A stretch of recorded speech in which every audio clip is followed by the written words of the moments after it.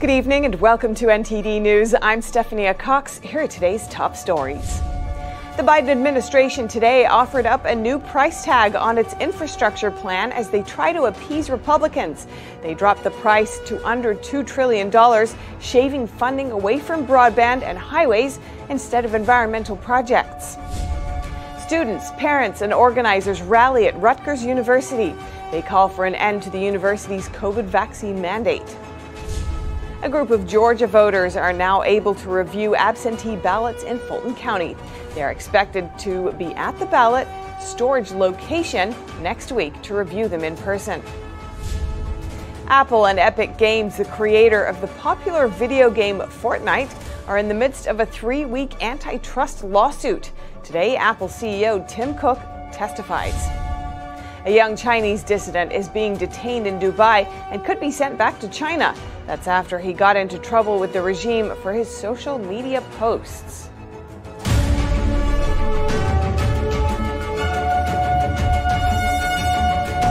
Negotiations drag on for Biden's infrastructure plan.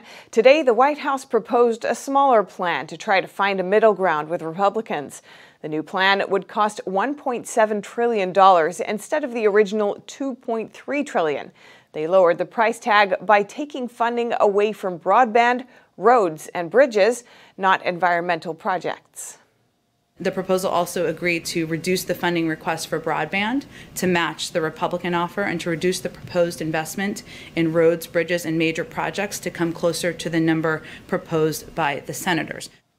The proposal is meant to make it clear that they think the Republican offer neglects funding for key priorities like clean energy investments. But the lowered plan still includes tax hikes, which Republicans say they won't support at all. Lead Republican negotiator Senator Shelley Capito met with cabinet members on infrastructure earlier this week. But he says they didn't make such prog- much progress since they still can't agree on which projects are classified as infrastructure. And it looks like Senate Majority Leader Chuck Schumer is laying the groundwork to pass an infrastructure plan without Republican votes. According to Hill sources, Schumer and Senator Bernie Sanders met with Senate parliamentarian again on Thursday. Part of their discussion was about how to use budget reconciliation to pass the bill with a simple majority. The Senate parliamentarian already said reconciliation can be used again this year, but Democrats have held off so far on jamming through another large spending package. And President Biden is planning to double the IRS as part of his efforts to unearth tax evasion. The IRS commissioner says uncollected taxes could total up to $1 trillion each year. Biden is also proposing to raise tax rates, and several top officials could be hit if that bill becomes law. The Biden administration said Thursday it plans to increase IRS employees by 87,000 workers over the next decade, doubling the size of the agency. The Treasury's tax plan includes increasing funding for the agency by $80 billion. The Biden administration is making efforts to go after uncollected taxes. The IRS said it amounted to about $554 billion in 2019.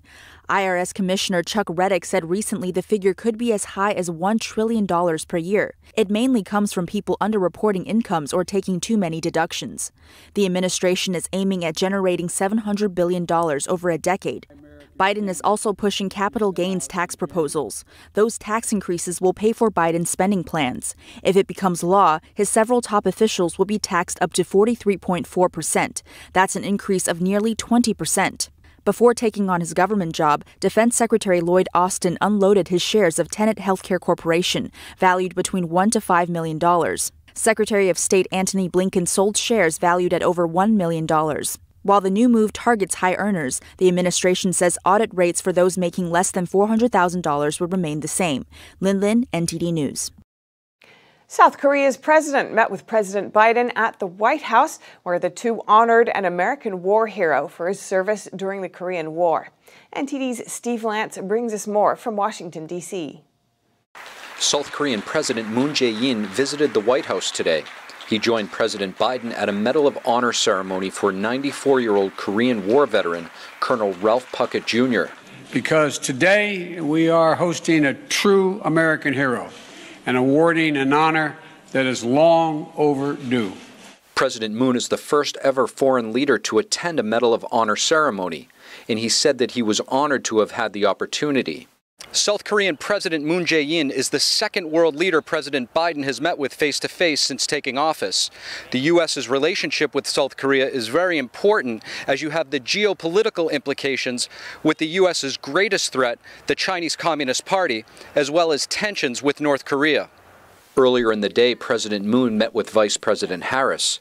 They highlighted the importance of the U.S. South Korea alliance. Globally, our alliance is critical to peace security, and prosperity in Northeast Asia, the Indo Pacific, and around the world. This will most likely be the last time President Moon will visit the United States in an official capacity as leader of South Korea, since his term will be ending within the year.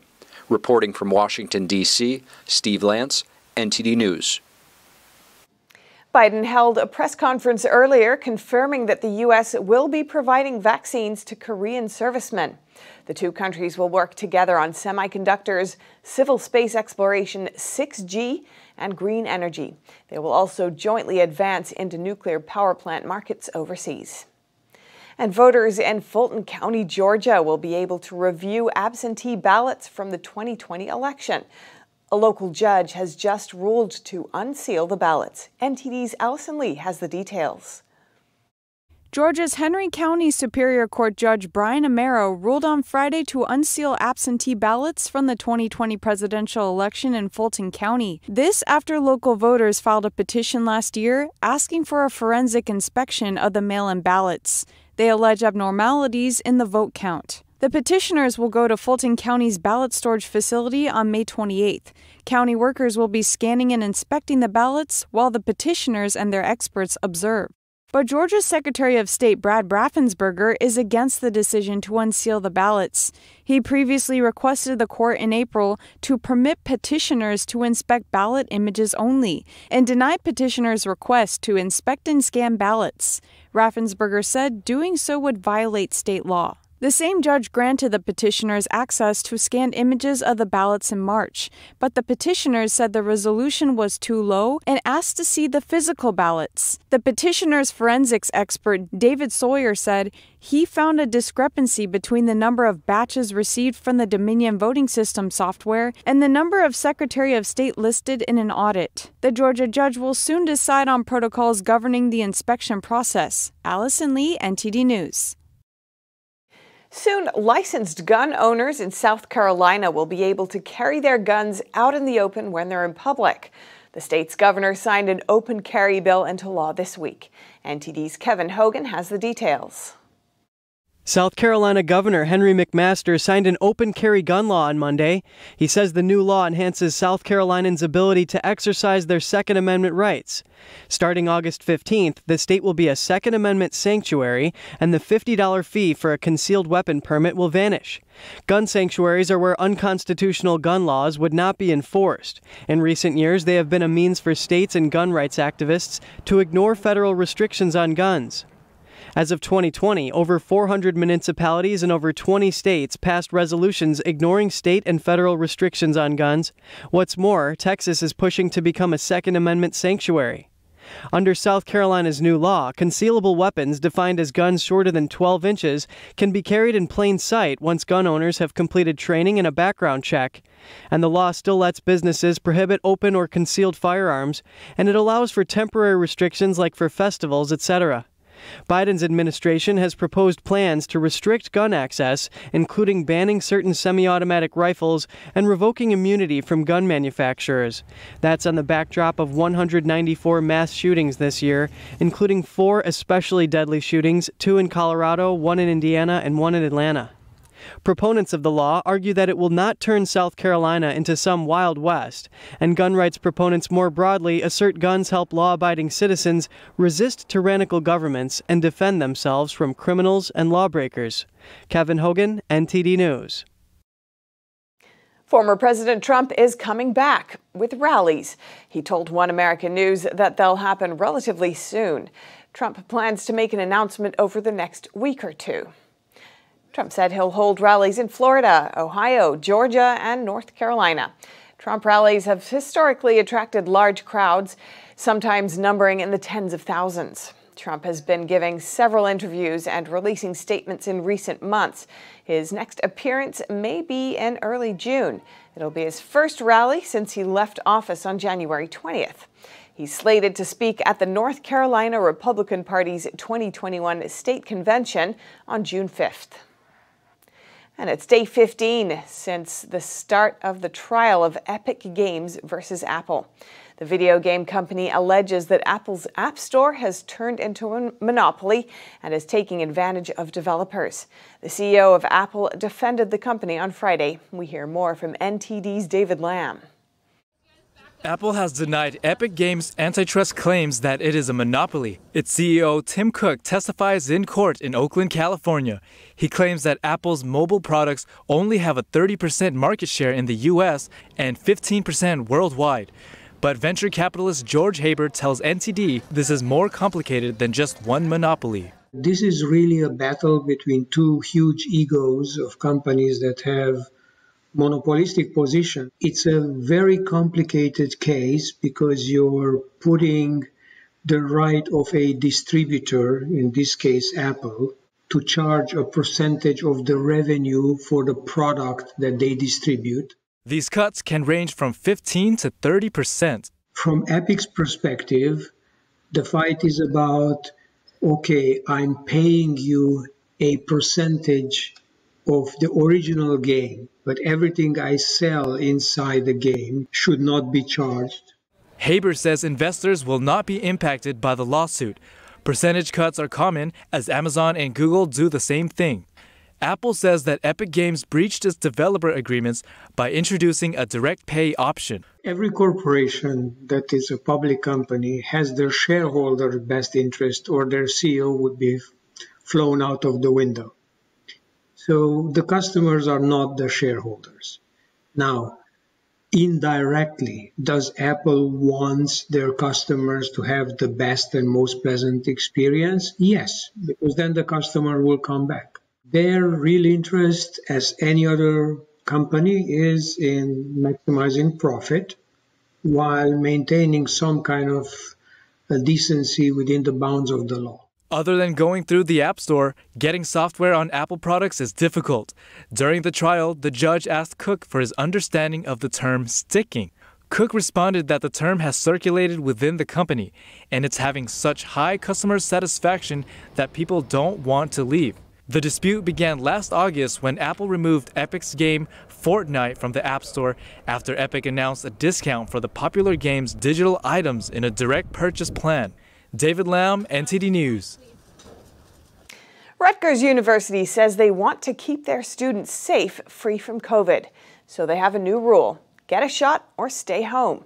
NTD's Miguel Moreno has more from students who have a problem with being turned away for turning down a vaccine. So, a lot of universities in the U.S. are requiring that their students get vaccinated against COVID if they want to attend this year. Rutgers was the first to do it, and we're here right in front of the school, but behind me, you'll see parents, organizers, and students protesting that requirement. They showed up in the hundreds. In a nutshell, everyone told us they want students to have a choice of hitting the books without getting the shot. So Rutgers says they're doing this because they want to keep students safe. And as we all know, you can spread the virus. So why not comply with their policy if their mission or their aim is to keep people safe? Yes, we totally understand it's people uh, their aim to you know keep the Rutgers community safe, uh, but at the end of the day, what we put into our bodies and what vaccines we take, what medicines we take, that's your own personal choice. Nobody can force you to do that. The government sure can't do that, so a public university can't do that. Because I love Rutgers as a university, but I'm not going to be able to attend if I don't want to get the vaccine and they're mandating it for me, unfortunately. New Jersey schools can legally require their students to get vaccinated, and students can apply for religious or medical exemptions. But these protesters raised another issue. The three available COVID vaccines are experimental, not yet fully approved by the FDA. The pharmaceutical manufacturers have zero liability. So if you are now forcing your student population to take an experimental vaccine to continue their education, are you as the university assuming liability for any death or injury that results in that? We asked Rutgers if they would consider changing their policy, but they doubled down, saying the university's position on vaccines is consistent with the legal authority supporting this policy. We later learned that Rutgers isn't requiring their staff, like professors, to get vaccinated for COVID, only their students. They didn't deny the claim when we asked. Instead, they said they strongly urge staff to get vaccinated ASAP and that their students are more likely to get infected. It's terribly unfair Republican Assemblyman Jerry Scharfenberger says he's against the university's policy. But would you want teachers to get it if students had to get it in the end? I want faculty to get it if they so choose. If nothing changes, unvaccinated Rutgers students can take online courses after the policy goes into effect this fall semester. Miguel Moreno, NTD News. Senator Mitt Romney is urging the Biden administration to step up vaccine aid to countries in need around the world. He says the CCP is using its own inferior vaccine to further its global political goals. Senator Mitt Romney urged the Biden administration on Thursday to provide more vaccines to countries in need. He added this is to counter China using its own vaccine to force other countries to follow the Communist Party's political goals. Earlier this week, the Financial Times reported Honduras may be forced to switch diplomatic ties from Taipei to Beijing to gain access to Chinese vaccines. Honduras is one of Taiwan's few remaining allies. Beijing now seeks to use access to Chinese vaccines as levers to extract favors from Latin American and Caribbean governments, despite questions about the vaccine's effectiveness. China has used vaccine access to induce Brazil and the Dominican Republic to reverse prior commitments to exclude Huawei from its 5G networks. So far, Biden has promised to donate 80 million doses of virus vaccines without naming the recipient countries. But he promised that the U.S. would not expect any favors in return. The U.S. Senate and House lawmakers reintroduced a bill that would deny visas to foreign spies, particularly those with ties to the Chinese Communist Party. Three congressional Republicans reintroduced a bill called the Protecting America from Spies Act that would allow the State Department to deny visas to those engaged in espionage or other activities against the United States. This Senate bill was introduced by Senators Marco Rubio and Ted Cruz. The House version was introduced by Congresswoman Vicky Hartzler. Rubio said in a statement on Thursday, We know that the Chinese Communist Party will spare no effort to steal from and exploit American companies and universities. And he says this legislation prevents repeat offenders from gaining access to our country. We should require federal contractors to disclose any commercial ties they might have to the Communist Party of China. A Washington based think tank compiled a list of 152 publicly reported cases of Chinese linked espionage. The data shows that military and commercial technologies are the most common targets for theft. Of the 180 misconduct investigations at the National Institutes of Health, more than 90% of the cases have links to China. Washington, D.C. is starting to look more like the famous tourist hub it was before the CCP virus. Mayor Muriel Bowser lifted nearly all restrictions today, and people tell NTD they think it's about time. NTD's Melina Wisecup has more from D.C. More feet on the streets and less masks on faces, two signs that the nation's capital is getting back to normal. And for some, it's a brand new journey. So we've never parented outside of a pandemic and we haven't done much with her, so we're still figuring all that out. Starting Friday, nearly everywhere, from recreation facilities to offices, can start welcoming customers again at full capacity. I guess I'm 50 50 on it. Um, I think, in a way, it is a good idea, but you can't rely on all the people doing the right thing. Uh, it's about time. Follow the science. It should be open based on what we understand, and glad it finally is getting to that point. Most tourists we spoke to said that they were happy and it's about time that the restrictions are lifted here in DC and across the nation. Some of the people said that they do feel more comfortable not wearing a mask outside, but prefer to have one on when they're indoors. But others say that they're pretty fearless and they're glad that everything's getting back to normal. Back up now. I think it's great. I think it's about time to everything to start opening up again. You know, everybody's getting vaccinated. It's time to go ahead and start opening things up kids going back to school, masks coming off, I think it's the right time. Under the eased restrictions, restaurants open at full capacity too. But one owner tells us that the new work from home trend will continue to impact restaurants who profit from business travel. It may never get back to where it was because I think people are finding that they can they can work online. But I think it will come back somewhat. So I'm anticipating that we will finish this year at maybe 60, 65% of pre-COVID sales. He says he had to let go around 80% of his workers at some points just to stay afloat during the pandemic. And while they're trying to bring those workers back now, he says unemployment benefits are interfering with that effort a bit. You know, the, the minimum wage in D.C. is $15 an hour, which is the highest in the country. But, uh, you know, if you can get $25 an hour between the government and local unemployment, why would you why would you come back to work? Bars, nightclubs, and large venues are still restricted to operating at 50% capacity for now, but those final restrictions are set to ease on June 11th. Reporting in Washington, D.C., Melina Wisecup, NTD News. An animal park in Oklahoma that was featured in the Netflix series Tiger King is under fire. Federal agents seized their protected big cats under an authorized search warrant. NTD's Christina Kim brings us the details. Federal agents seized a total of 68 tigers, lions, lion tiger hybrids, and one jaguar from Jeffrey and Lauren Lowe's Tiger King Park in Oklahoma. The couple in this park are best known for their appearance in the series Tiger King, and they're being accused of mistreating their cats. The Department of Justice conducted three inspections since mid December last year, and the Lowe's received citations for failing to provide the animals with adequate or timely veterinary care, appropriate nutrition, and shelter that is big enough or protects them from inclement weather. During a hearing last week, a judge found the zoo owners to be in contempt for not complying with court orders to employ a qualified veterinarian for the animals. An attorney for the couple told a federal judge that the Lowe's want out completely. Acting Assistant Attorney General Nicholas McQuaid said that the DOJ is working to ensure the animals are sent to responsible animal preserves where they can be safely maintained rather than exploited. The DOJ says this seizure should send a clear message that they take alleged harm to captive bred animals protected under the Endangered Species Act very seriously. Christina Kim, NTD News. Coming up, New York's Attorney General wants to hold police officers more accountable when using deadly force. She announced a new bill that tackles the use of lethal force.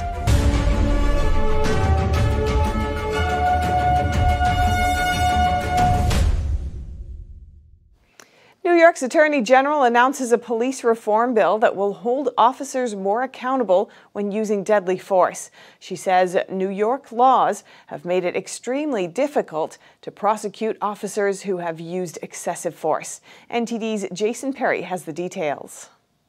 New York State Attorney General Letitia James wants to hold police to a higher standard when using lethal force. She talked about her Police Accountability Act here in her office in downtown Manhattan. She wants deadly force to be used as a last resort, only when a threat is truly imminent. And guidelines for escalation of force are currently in the police patrol guides, but are not law. Under our current law, an officer who suspects an individual attempted to commit the crime of arson, even if that attempted act occurred two weeks prior, that officer could be justified in using legal force to arrest that person or prevent or prevent his or her escape. She claims the bill will not affect those split second life or death situations that officers face. Particularly when confronted with a dangerous situation or when their life or the life of another individual is being threatened. It will not change those situations. There are reasonable protections that officers need and need in situations like those. Eric Garner's mother, Gwen Carr, attended the event. A New York City officer placed a chokehold on Garner while arresting him for selling loose cigarettes, leading to his death in 2014. It represents the first major step in this nation to bring about change. So far, the bill has only been introduced, and it still needs to go through all the legal steps before it becomes law. Jason Perry, NTD News, New York. Green space is essential in any city, and in New York City, officials are planning a new waterfront park that will not only bring a little nature into the city, but also double as a flood barrier. Lower Manhattan is getting a facelift. That is, crews are actually lifting East River Park by 8 to 10 feet. Jainey Bavishi is the director of the New York City Mayor's Office of Climate Resiliency. Um, this is a project that is going to protect 110,000 people on the Lower East Side of Manhattan, 28,000 of whom live in public housing. This is a community that was really devastated by Hurricane Sandy. Uh, the floodwaters came over the coastal edge and, and really went quite far into the neighborhood. In 2012, Superstorm Sandy destroyed or damaged hundreds of thousands of homes and businesses in coastal New York, New Jersey, and Connecticut. Officials in Manhattan have found a way to offer 2.4 miles of greater protection downtown and leisurely breathing space for millions of residents. New York City's Design and Construction Commissioner Jamie Torres Springer. The idea of just building a flood wall uh, and just leaving it sitting there in place just didn't work. So instead, what we're able to do for most of the project extent is we're able to really put the flood wall underground and then raise the new park that we're going to reconstruct on top of it. Uh, you won't know the flood wall's there, but we'll get an entirely new park with all the benefits of that. That's the general design approach. With 520 miles of coastline in New York City, protecting it from storm surge is a monumental task. The entire project of $1.45 billion is set to be completed in 2025. Coming up, police are leaving Seattle after a series of laws were passed that restrict police authority. The president of the Seattle Police Union talks about what it means for the city.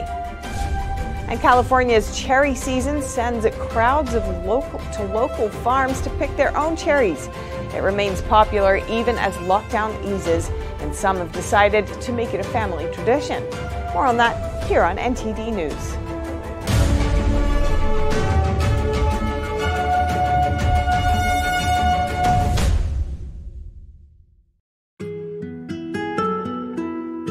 There's cultures that have been lost, but this culture hasn't been.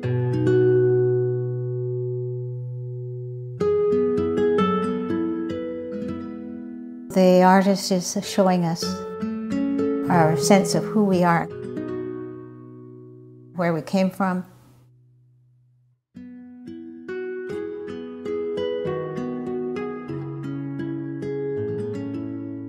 You look at his hat. His hat is knitted probably by a man because a man traditionally knitted the hats. That hat tells you the story of who this person is, what his place in the culture is, the animals around him. Everything's all contained in the messages in the hat. And the tool that he's carrying over his shoulder. This is a centuries old tool that has been able to rework the mountains Those traditions are invaluable, and if we don't honor those traditions, then we're rootless. The artist is showing us the value of maintaining our culture and respecting our culture.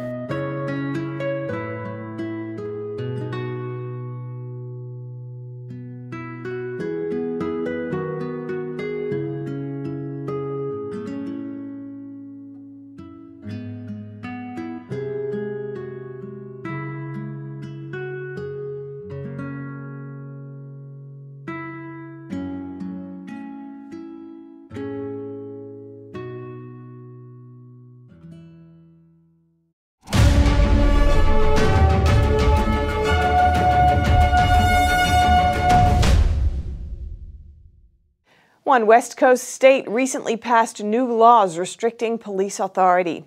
As a result, police are moving to other jurisdictions. A police union leader talked to NTD about why this is happening and about the implications for safety. Police are leaving Seattle in droves.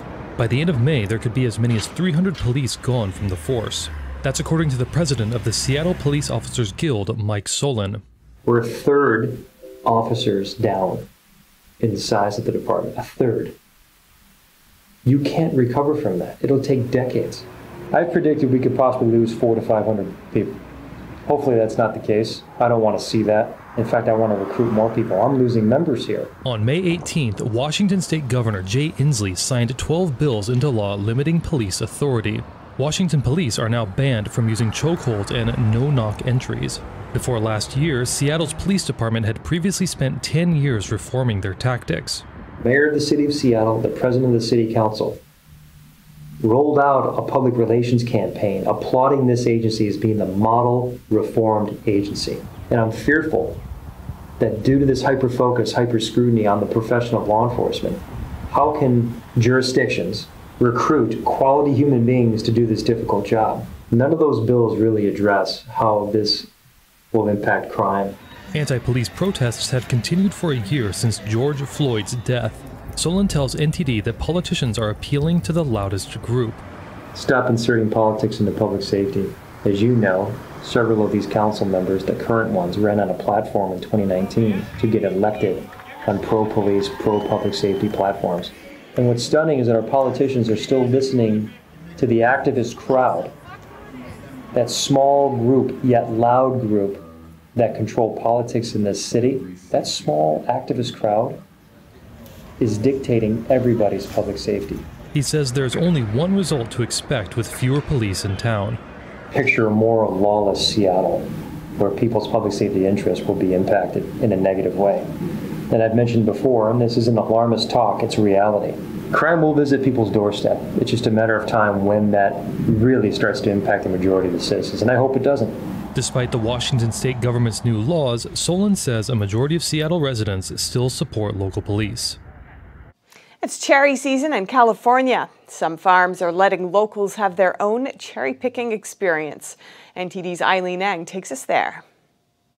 This popular farm in Brentwood draws crowds every year for its annual cherry U Pick. Here at Nunn Better Farms, people can pick cherries off trees. They're priced at $3.50 per pound, and people must pay for everything they've picked. It attracts people of all ages. I loved eating them, but I also loved picking them. I loved eating them even more. So our first time was last year. We came, um, it was really the beginning of the pandemic, and it was the first thing that we could think of to do that sounded actually fun. The Schreiner family picked five buckets in an hour. They intend to give some to friends and make pies and jams with them. The best ones I liked uh, were I like, like the darkest ones. The ones I liked were like the ones up high. Why did you like the ones that are higher? Because like they're darker and they're more juicy. We like the freshness and usually we pick it like when it's in season. For others, it's their first time cherry picking. I feel excited. I guess we'll go and find out what it's like. For over 150 years, this family owned 75 acre farm has been providing fresh fruits and vegetables to the community. Ready to pick right now are corals, mainly. Uh, the champagne coral cherry. Um, it's a dark red cherry, almost purple, crunchy, really sweet. It's one of my favorites. Howd has been the owner for two years now, after taking over from his grandfather. He suggests picking cherries from the stems so that they will last longer. Howd says the only way to find one's personal preference is to take a bite.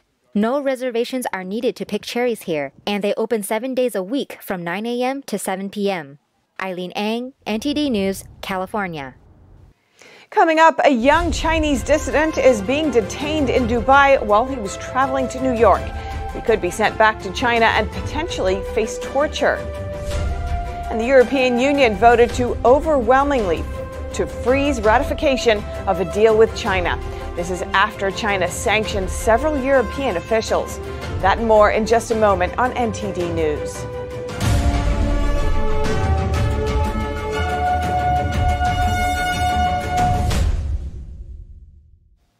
United Arab Emirates is planning to extradite a 19 year old Chinese dissident back to China. The young man is on the Chinese regime's wanted list, and he believes Beijing is behind his arrest in the UAE. Here are the details. The United Arab Emirates, or UAE, is holding 19 year old Chinese dissident Wang Jingyu captive and planning to send him back to China.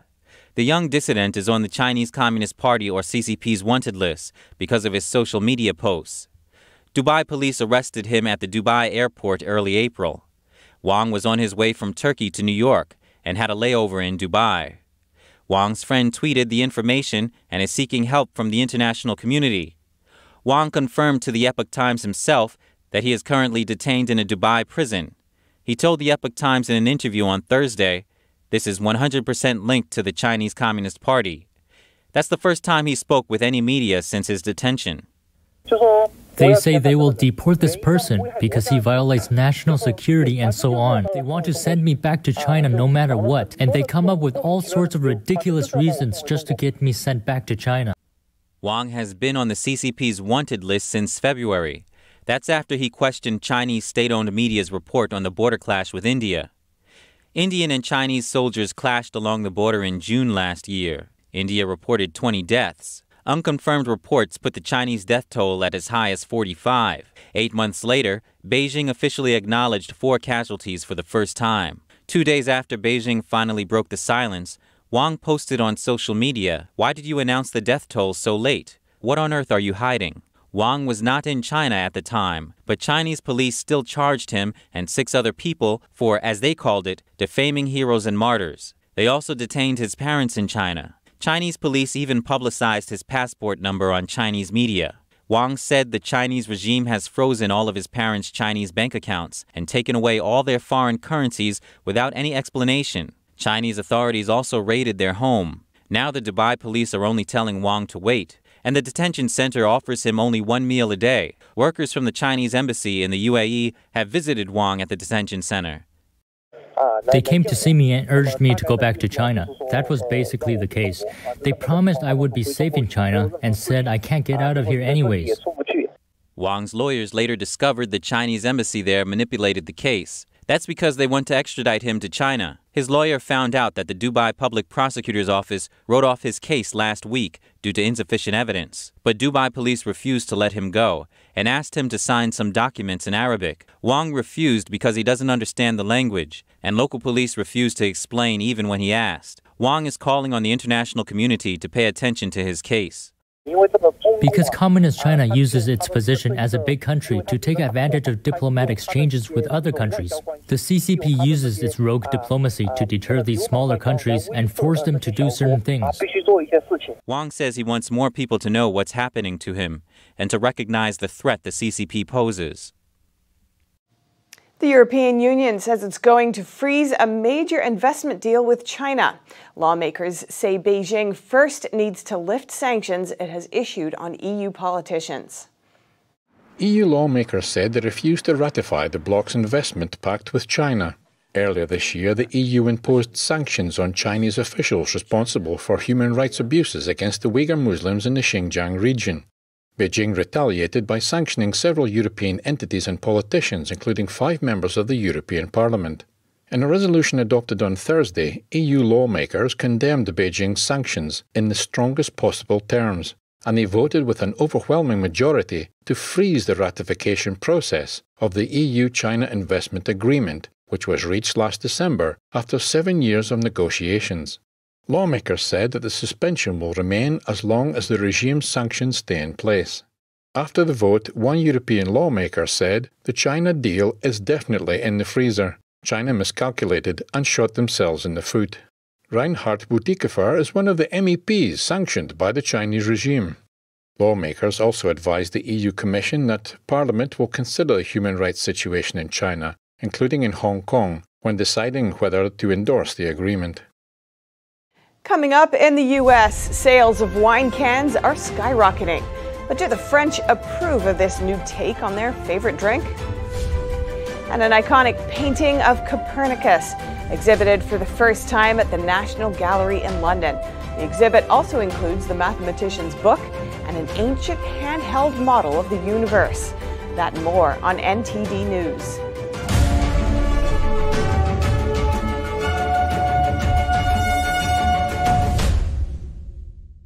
Hi, folks. Joe Namath here, and if you're on Medicare, this is important. You're now entitled to eliminate copays and get dental care, dentures, eyeglasses, prescription coverage, in home aids, unlimited transportation, and home delivered meals, all at no additional cost. Plus, your zip code may have coverage with the Give Back benefit that adds money back to your Social Security check every month. I called to get dental, transportation, meals, and the Give Back benefit. With this virus situation, I called to get everything I'm entitled to.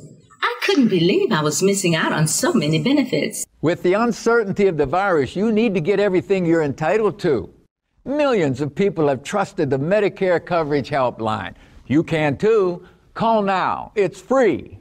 Call 1 800 764 1930. That's 1 800 764 1930 now.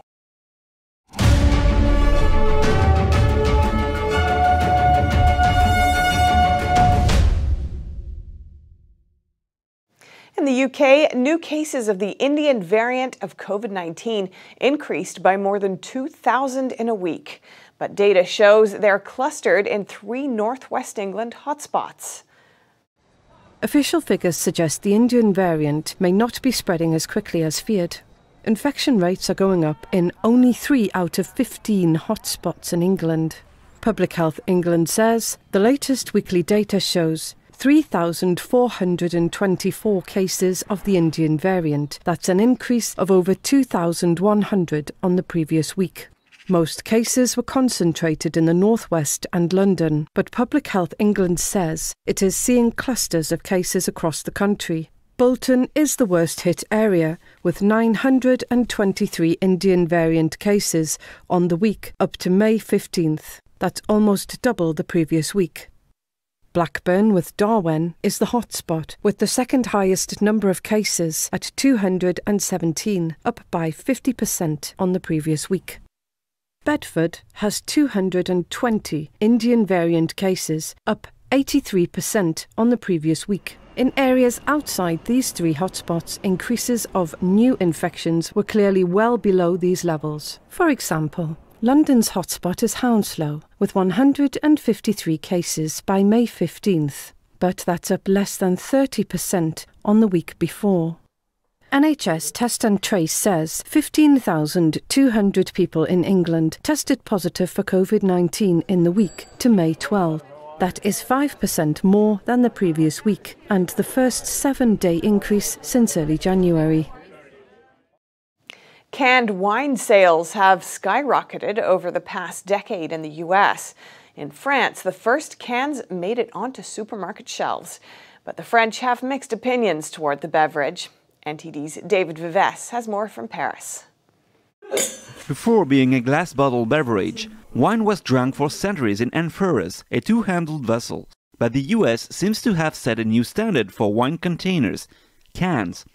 In less than a decade, the sales of canned wines skyrocketed from $2 million in 2012 to over $183 million in 2020, making it the fastest growing segment of the market. In France, some brands are taking their first step into this untapped market.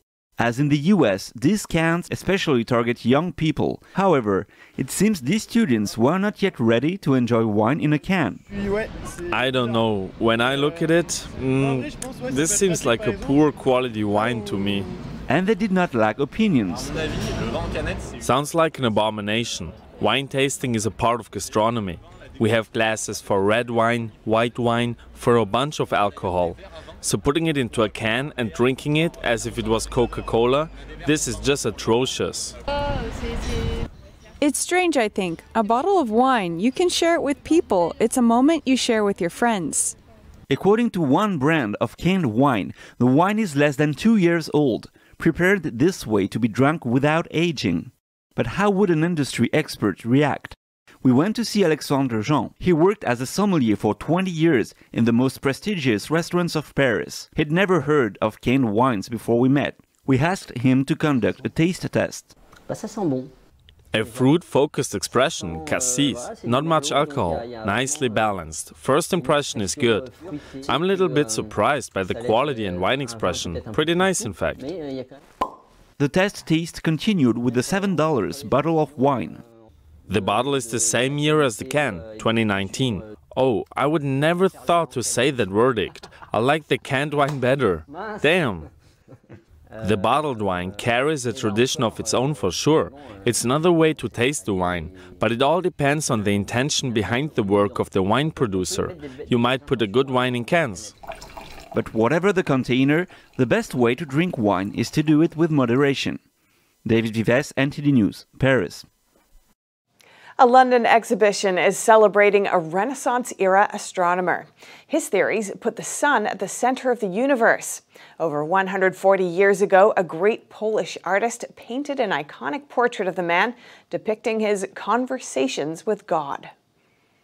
This monumental canvas of astronomer Nicholas Copernicus is making a rare visit to Britain's National Gallery in London. This is the first time it has ever been shown in the UK. The most famous Polish painter of the 19th century, Jan Matejko, created this artwork in 1873. It was to mark the 400th anniversary of Copernicus's birth. The painting's name is The Astronomer Copernicus Conversations with God. This is certainly an imaginary scene. Matejko, wanting to commemorate the 400th anniversary of the birth of Copernicus, imagines this scene of him on the roof at the cathedral at Frombork, turning to discuss uh, with God his discovery. Now, it's very important. Copernicus has already made the discovery. The diagram of uh, the sun at the center of our system is already there. But now, in confidence, he turns to God uh, so they can discuss his finding. As a devout Christian, Copernicus believed that God created the laws of motion of matter in the most efficient way. This guided him to formulate the epoch making heliocentric theory in 1543. He wrote it in his seminal work on the revolutions of celestial spheres. According to the British curator, Copernicus himself never clashed with the Roman Catholic Church. Neither did the Church excommunicate him. Indeed, enlightened clerics of the day celebrated his breakthrough. This painting of a genius at work achieved almost instant fame when it was first exhibited in Poland. The Polish artist was considered a national treasure in his homeland for portraying great episodes of Polish history but his fame has dwindled in Western Europe. The fact that there are no works by him in this country mean that, means that he's not well known here, he's not known at all. And uh, I hope that as a result of this show, it's a name that people will, will reckon with. In addition to the painting, the exhibition also includes Copernicus's book and an astrolabe. That's an ancient handheld model of the universe. French contemporary artist J.R. unveils his latest art installation displayed in front of the Eiffel Tower. It fools the eye and gives the impression that the Paris landmark stands above steep cliffs. Tourists flock to take photos with the piece in silly poses. The optical illusion shows the tower in black and white with its feet standing between the two cliffs. The illusion is viewed perfectly from a certain angle. JR unveiled his latest piece on the day restaurant terraces reopened in France and Parisians were eager to return to a form of normalcy. He's known for huge format street art and has done pieces around the world. In 2019, he took on the Louvre Museum and made it its iconic pyramid disappear through an image illusion. Recently, he created a piece at Florence's Strozzi Palace, showing the illusion of a crack that revealed the structure's interior. And a school in the UK's South Wales is using animals to help students with special needs. Now, students there are welcoming two new arrivals as part of Mental Health Awareness Week. NTD's Andrew Thomas has the story. These cute pygmy goats are getting a lot of attention. They're the latest additions to the Headland School in Penarth. Students there help care for the furry friends and say they benefit from having them near. If you have like a bad day, like you could just come and you could express your feelings and you could just calm and you can spend time with them. There are even more animals here for the children to bond with, including alpacas, ducks, and chickens. Action for Children's Headland School educates children with special needs. Staff say the animals are a real help. Watching um, our young people with such diverse backgrounds coming down. So like like sitting, talking, and opening up about like issues and problems in their lives. It's been fantastic, and I think this has been an absolutely huge part of it. The pupils take full responsibility for caring for the animals. They build their homes, shop for their food, and feed them. Some students report that it's had a positive impact on the rest of their education too. So um, before we had the animals and stuff, I was quite not motivated to come to school. I would uh, usually not come in on some days. And now, ever since having the animals down here, it's boosted my motivation to come to school to look after them. Ducks, alpacas, and the new pygmy goats have become invaluable classroom assistants, a boost for children's mental health and education. Andrew Thomas, NTD News. And that's all for today's news. Thanks for tuning in. I'm Stephanie Cox.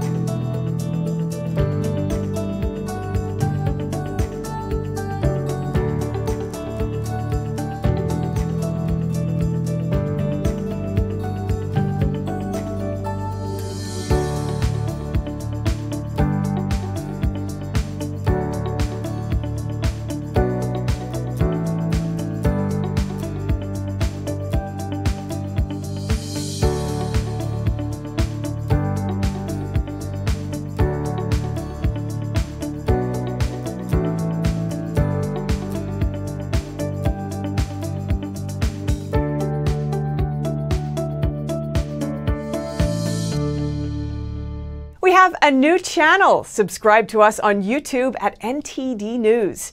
Get the highlights of our news broadcast and the most important headlines that we curate especially for you. Don't miss out on important news. Our videos are being deleted. So if you don't want to be cut off from honest news, take a moment to sign up for our newsletter at newsletter.ntd.com so you don't lose access to NTD. Go to newsletter.ntd.com to sign up for our evening newsletter.